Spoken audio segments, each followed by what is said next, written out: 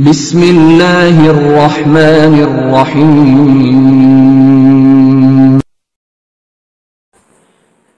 బిస్మిల్లా రహమాన్ రహీం మిత్రులారా ఇబ్రహీం అలీ ఇస్లాం వారి గురించి మనం తెలుసుకుంటున్నాము రెండో పరీక్షను ఎదుర్కొన్నటువంటి అటి అతి కఠినమైన పరీక్ష ఏంటంటే లేక లేక కలిగినటువంటి కుమారుణ్ణి తన భార్యను జలరహితమైనటువంటి ప్రదేశంలో విడిచిపెట్టిరా అని చెప్పేసి ఆజ్ఞ ఎప్పుడైతే అవుతుందో అది కూడా ఆయన పాటించడానికి ఏ మాత్రం కూడా వెనుకడుగు వెనుకడుగు వేయరు వెనుకంజ వేయరు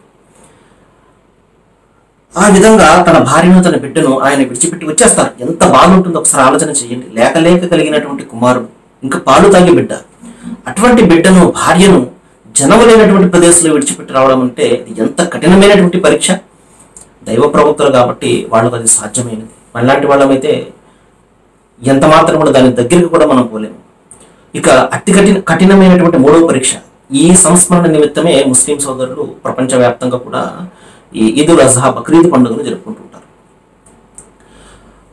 ఆ ఇబ్రా ఇస్మాయిల్ మొదటి కుమారుడైనటువంటి ఇస్మాయిల్ పది పద్దెనిమిది పదిహేడు పదహారు ఆ సంవత్సరాలు వయసు వచ్చిన తర్వాత మరొక కఠినమైన పరీక్ష దైవం చెప్తాడు నీవు నీ కుమారుని వధించు అనే కఠినమైన పరీక్ష ఉంటుంది.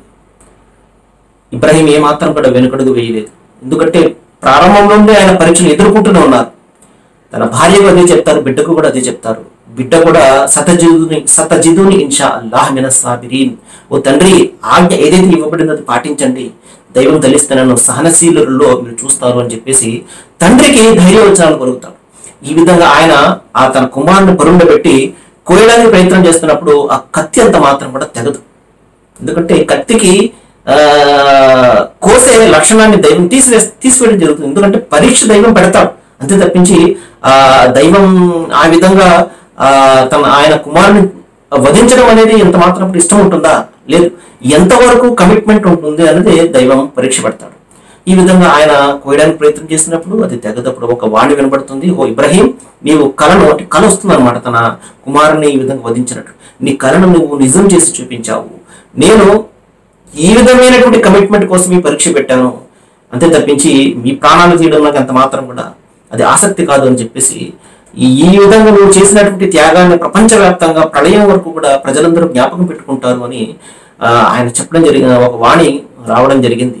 ఆ కో లో అంటే ఆ సంస్మరణ నిమిత్తమే ముస్లిం సోదరుడు ఆయన చేసినటువంటి త్యాగాలకు ఆ కుమారుడు చేసినటువంటి త్యాగాలకు ఆ తల్లి చేసినటువంటి త్యాగాలకు ఆ త్యాగ- త్యాగాలను జ్ఞాపకం తెచ్చుకుంటూ ఆ త్యాగాల పండుగ రూపంలో ఇది జరుపుకుంటారు. మహాశైలరా బీదలకు సాధలకు ఎక్కువగా ఈ ఆ- రోజున దానం ఇవ్వడానికి ప్రయత్నం చేస్తారు. రండి ఇస్లాంను తెలుసుకుందాము. సర్వేజన సుఖనుభవంతు. Thank you very much